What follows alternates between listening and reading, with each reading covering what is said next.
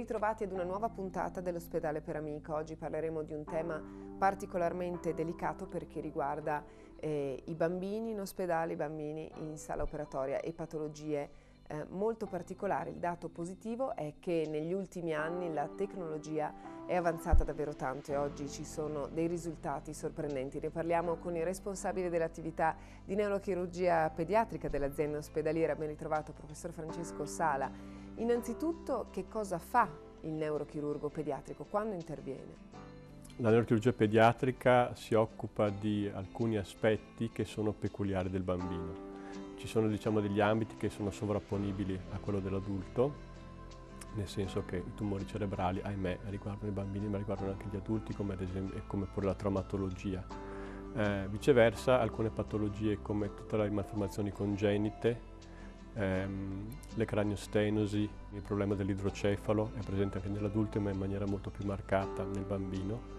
Quindi diciamo che la neurochirurgia pediatrica ha un, uno spettro di azione molto ampio. Perché esiste eh, la specializzazione di neurochirurgia pediatrica?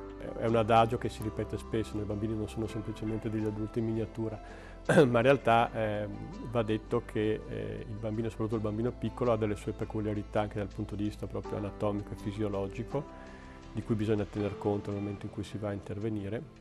È vero che un bravo neurochirurgo generale può sicuramente intervenire con successo anche in ambito pediatrico, eh, perché alcune patologie sono molto simili, il gesto tecnico per certi aspetti è sovrapponibile. Um, però eh, altri interventi vanno fatti in bambini molto piccoli, quindi con delle attenzioni particolari. Banalmente, ad esempio, un bambino di pochi mesi ha una quantità di sangue, di riserve ematiche molto modesta, per cui la, uh, l'attenzione um, alle perdite ematiche durante l'intervento è fondamentale molto più di quanto non lo sia in un adulto che ha diversi litri di sangue. Ma più in generale direi che la cosa fondamentale è una competenza specifica dal punto di vista, eh, mi permette il termine culturale, nel senso di conoscere ehm, la fisiopatologia del, delle, delle, malattie che riguardano il bambino e, e tutto quello che eh, ci va dietro da un punto di vista non semplicemente dell'intervento chirurgico, ma della gestione sia pre che post operatoria. Ci fa un esempio eh, di, di, quando intervenite nel caso di malformazioni congenite? Ad esempio ehm, il problema dell'idrocefalo che è molto comune nell'infanzia, cioè l'accumulo di liquido all'interno della scatola cranica legato al fatto che questo liquido che noi produciamo normalmente non circola come dovrebbe o non viene riassorbito come dovrebbe, questo provoca un accumulo di questo liquido all'interno del cervello questo provoca un aumento della pressione all'interno della testa e quindi richiede un trattamento chirurgico. Il trattamento chirurgico non è di per sé eh, complesso dal punto di vista tecnico, ma quello che è complesso è capire ad esempio le indicazioni ad un tipo di procedura piuttosto che un'altra, quando intervenire. Come si presentano le malformazioni congenite? Come vengono investigate? Le malformazioni congenite eh, sono legate al fatto che una parte eh, del sistema nervoso del bambino, che riguarda il cervello, il midollo spinale, eh, non si, si sviluppa in maniera appropriata o si sviluppa in maniera incompleta oppure diciamo, nella programmazione dello sviluppo del sistema nervoso eh, avviene qualcosa che porta a uno sviluppo anomalo. E, mh, alcune di queste malformazioni richiedono poi un intervento chirurgico. Eh, diciamo che fra i capitoli anche più conosciuti c'è il problema della spina bifida, eh, quindi bambini che nascono eh, con una chiusura incompleta o dell'involucro del midollo spinale, le meningi e la, la colonna vertebrale, ehm, o con una malformazione che riguarda in maniera specifica solo il midollo spinale. Che cosa accade dunque a questi bambini? Molte di queste malformazioni congenite a livello spinale possono creare quello che noi chiamiamo un midollo ancorato, quindi un midollo che non è più libero di muoversi e questo porta a una sofferenza del midollo che provoca poi eh, una compromissione di quelle che sono le funzioni neurologiche. Il bambino può sviluppare ad esempio un problema di vescica neurologica, può sviluppare dei, delle difficoltà dal punto di vista sensitivo, motorio agli arti inferiori, può sviluppare una scoliosi, può sviluppare tutta una serie di eh, segni clinici che sono indice di una sofferenza a livello midollare. Quindi eh, la chirurgia serve per cercare di disancorare questo midollo e rimetterlo nelle diciamo, condizioni migliori per funzionare in maniera appropriata. E di solito alle donne ancora prima eh, della gravidanza viene consigliata l'assunzione di acido folico proprio per prevenire la spina bifida, è effettivamente efficace? L'acido folico ha contribuito in maniera eh, fondamentale a ridurre eh, l'incidenza di spina bifida, soprattutto di quella che noi chiamiamo spina bifida aperta, cioè il mielomeningocele, che è una situazione che viene diagnosticata già durante la gravidanza, che tra va trattata già alla nascita, nelle prime ore di vita, perché il midollo spinale sostanzialmente eh, arriva alla superficie della, della cute, eh, non è più protetto e quindi questo oltre a creare una situazione diciamo in prospettiva di eh, midollo ancorato, quindi con le problematiche che abbiamo citato prima, eh, crea nell'immediato un rischio anche di infezione. Quindi in questi casi va il bambino operato entro le prime 24-48 ore per diciamo, ricostituire gli strati che devono proteggere il midollo, evitare il rischio di infezione e questi però poi sono bambini che andranno seguiti per tutta la vita per, ehm, sotto l'aspetto neurologico, fisiatrico, urologico ma che possono avere eh, comunque una qualità di vita assolutamente importante. La gran parte di questi bambini, ad esempio, ha una scolarità normale. Quando si può ottenere la diagnosi? Già in epoca prenatale? Si possono senz'altro diagnosticare anche in sede prenatale con l'ecografia e nei casi in cui ci sia un sospetto eh, importante anche con una risonanza magnetica fetale che viene fatta alla mamma e che consente di vedere comunque il feto e quindi di poter anche fare una diagnosi prenatale anche di patologie del sistema nervoso. Quali sono dunque gli obiettivi dell'intervento? L'obiettivo nostro è intanto quello di non far peggiorare ulteriormente il bambino e poi se possiamo anche di poter eh, restituire parte della funzione che è andata persa. Eh, nello specifico poi della patologia del midollo ancorato ci sono due scuole di pensiero anche a livello internazionale, una che eh, sostiene di sostanzialmente cerca di intervenire solo quando il bambino è sintomatico eh, noi da molti anni eh, siamo più invece legati a una scuola un po' più interventistica, nel senso che cerchiamo anche nel bambino asintomatico, se però c'è l'evidenza di un ancoramento del midollo, di intervenire proprio per cercare di evitare che ehm, eh, si instaurino quei deficit neurologici che poi diventa molto difficile poter correggere. Un grande cambiamento sarà sicuramente rappresentato dall'avvio dell'ospedale della donna e del bambino. Mancano ormai pochi mesi. Che cosa cambierà per voi e per l'accoglienza dei pazienti? L'ospedale pediatrico della donna del bambino un, uh, rappresenta per una grossa aspettativa perché ci consentirà intanto di lavorare tutti sotto lo stesso tetto, mentre adesso uh, alcuni reparti di pediatria sono a Borgo Roma, la neuropsichiatria infantile, l'oncomatologia pediatrica, la, le, alcune delle pediatrie, e ehm, la neonatologia, quindi questo crea ovviamente delle difficoltà dal punto di vista logistico. Eh, mentre speriamo fra un anno o giù di lì eh, saremo tutti quanti qui a Borgo Trento. Eh, ma al di là dell'aspetto diciamo, logistico questo consente anche di ehm, fare un salto di qualità dal punto di vista proprio anche dell'organizzazione del lavoro e soprattutto da un'organizzazione eh, che consenta di mettere davvero al centro la donna e il bambino. Credo che l'opportunità di un ospedale pediatrico eh, stia anche nel poter fare un'esperienza unica da un punto di vista anche professionale. Eh, io la, l'opportunità diversi anni fa di lavorare in un ospedale canadese, l'Hospital for Sick Children di Toronto, che è uno diciamo, dei punti di riferimento a livello mondiale, non solo per la neurochirurgia pediatrica, ma per le tutte le specialità pediatriche. E eh, in effetti, forse anche per una sorta di selezione naturale, nel senso che lavorare con i bambini eh, richiede una certa attitudine, una certa sensibilità, a fronte del fatto che si tratti comunque di un'esperienza difficile perché veder eh, star male, veder soffrire un bambino è qualcosa che va contro natura, non lo accettiamo, eh, facciamo sempre più fatica a accettarlo anche per l'anziano, per il bambino è un qualcosa di inaccettabile, soprattutto si tratta di patologie molto serie, tumori, patologie che possono avere anche una prognosi eh, non non buona. Eh, però dicevo a fronte di questo, eh, dall'altra parte eh, confluiscono sotto lo stesso tetto di solito anche ehm, persone che hanno questo tipo di sensibilità e questo dal punto di vista eh, professionale devo dire che è molto, è molto gratificante ed è un'esperienza molto positiva. Ci fermiamo ora per qualche istante, professore, poi capiremo com'è cambiata negli anni la tecnologia in sala operatoria e quali eh, vantaggi le innovazioni abbiano portato a tra poco.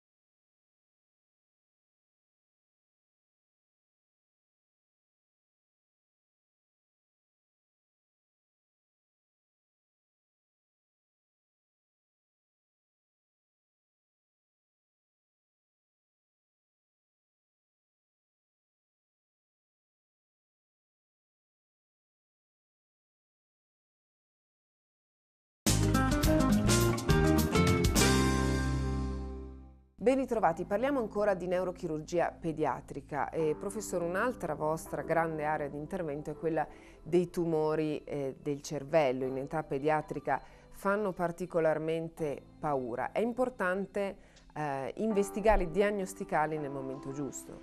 Chiaramente lavorare in un, in un uh, centro uh, di terzo livello con tutte le specialità uh, pediatriche è fondamentale, però direi che altrettanto importante eh, il ruolo del pediatra di base, perché in realtà sono loro che spesso vedono per primi il bambino e eh, soprattutto nell'ambito dei tumori cerebrali, innanzitutto rassicuriamo tutti dicendo che sono fortunatamente patologie molto rare in, come numeri eh, in, in, senso assoluto, però ci sono e, ed è importante poterli diagnosticare presto. Quindi eh, il consiglio che posso dare è che nel dubbio è sempre meglio eh, inviare il bambino eventualmente per un consulto. In più, meglio fare un, un, esame in più piuttosto che un esame in meno, anche perché nel bambino i sintomi di esordio eh, possono alcune volte essere anche molto specifici, eh, sono frequenti in età pediatrica i tumori della fossa cranica posteriore e questi esordiscono spesso anche banalmente con eh, cefalea, vomito che continuano a persistere eh, vengono spesso presi magari per problemi di tipo gastroenterologico, però la cefalea ecco, ci, sta, ci sta già meno, oppure sono bambini che possono avere delle iniziali dis- difficoltà nell'equilibrio, eh, possono essere particolarmente irritabili, alcune volte anche un, queste problematiche associate a una modifica nel rendimento scolastico possono essere dei campanelli d'allarme, quindi è importante che il pediatra abbia la consapevolezza anche di questa eventualità e nel dubbio semmai invia il bambino per una, una visita. Noi abbiamo l'ambulatorio pediatrico, visionale pediatrico, di neurochirurgia pediatrica tutti i mesi e quindi vediamo molti bambini.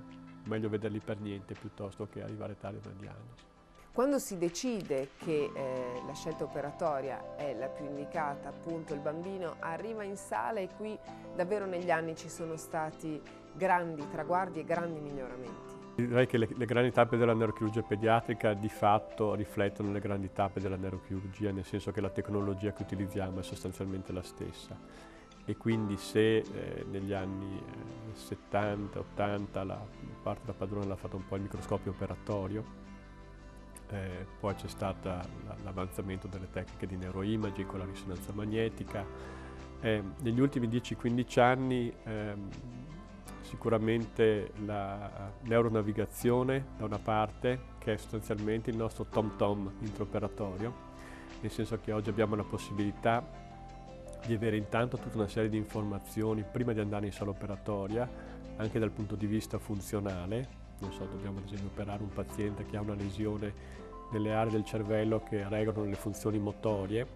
Noi possiamo, ad esempio con la risonanza magnetica funzionale, o con tecniche cosiddette di trattografia, sapere già prima di andare in sala operatoria dove queste aree cerebrali importanti che dobbiamo assolutamente rispettare sono situate rispetto alla zona dove c'è il tumore. Che cosa consente di realizzare questa tecnologia? E, ehm, queste informazioni le possiamo portare in sala operatoria e il sistema di neuronavigazione ci consente, un po' come avere il satellitare che ci consente di dire in ogni momento dove siamo, eh, questo lo possiamo fare anche per gli interventi al cervello e quindi in ogni momento sapere dove eh, è situato il nostro diciamo, target chirurgico. Adesso questo invece ci consente di avere sempre diciamo, sotto controllo quella che è un po' la traiettoria, il percorso che noi dobbiamo seguire. Questo vale sia per la chirurgia dell'adulto che per la chirurgia del bambino ovviamente.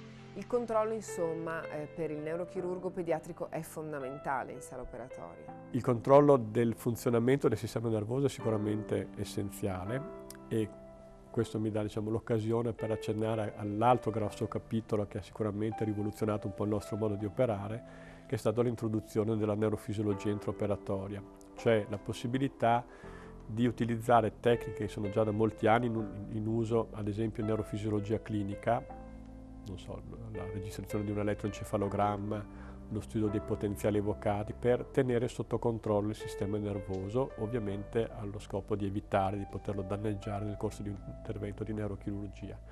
Eh, quello che noi facciamo è mandare degli stimoli al sistema nervoso, sia alle vie motorie, le vie sensitive o altre vie che noi vogliamo preservare, registrare la risposta a questo stimolo, questo stimolo passa attraverso la zona in cui noi dobbiamo andare ad operare e quindi se nella nostra azione chirurgica rischiamo di creare una situazione di potenziale rischio o di potenziale danno, il neurofisiologo che sta al monitor e vede il tracciato ci informa che sta succedendo qualcosa, quindi questo ci porta a correggere o modificare la strategia chirurgica per evitare o minimizzare il rischio di un, di un danno neurologico. Oggi si interviene nella stragrande maggioranza dei casi. È più difficile oggi parlare di lesioni inoperabili rispetto a quanto erano vent'anni fa. Certo esistono anche oggi delle lesioni che o per la loro estensione o perché infiltrano delle strutture altamente eh, diciamo, eh, ricche da un punto di vista funzionale e quindi andarle a violare esporrebbe il paziente al rischio di danni neurologici molto importanti o al rischio di vita. Quindi eh, esistono ancora delle, diciamo, delle, più che delle aree, delle situazioni off limits legate alla, al tipo di patologia, ai rapporti che il tumore ad esempio eh, ha con alcune zone del cervello. Però sicuramente queste, eh, queste situazioni si stanno sempre più ridimensionando grazie proprio anche all'innovazione tecnologica. Sicuramente non possiamo ancora operare tutto, ma possiamo anche soprattutto in ambito oncologico operare tumori che anni fa non avremmo mai affrontato. L'obiettivo insomma è preservare al massimo le, le funzioni eh, vitali neurologiche del bambino. Diciamo che cerchiamo di spingerci sempre un po' più avanti nel eh, limite chirurgico, ma questo va assolutamente fatto solo ed esclusivamente se si è in grado di preservare le funzioni neurologiche, quindi diciamo l'aggressività chirurgica non deve mai andare a mettere a repentaglio quella che è la, la funzione neurologica del paziente e questa è un po' la linea sottile sulla quale noi dobbiamo camminare tutti i giorni per cercare di ottenere il miglior risultato dal punto di vista oncologico e il miglior risultato anche e soprattutto dal punto di vista del preservare il paziente dal punto di vista funzionale. Abbiamo fatto un po' un viaggio uh, attraverso le grandi innovazioni della medicina e della chirurgia. Nel vostro caso eh, il futuro che cosa riserverà secondo lei? Stiamo incominciando a conoscere meglio il nemico e, e quindi questo in ambito oncologico sicuramente apre delle prospettive importanti.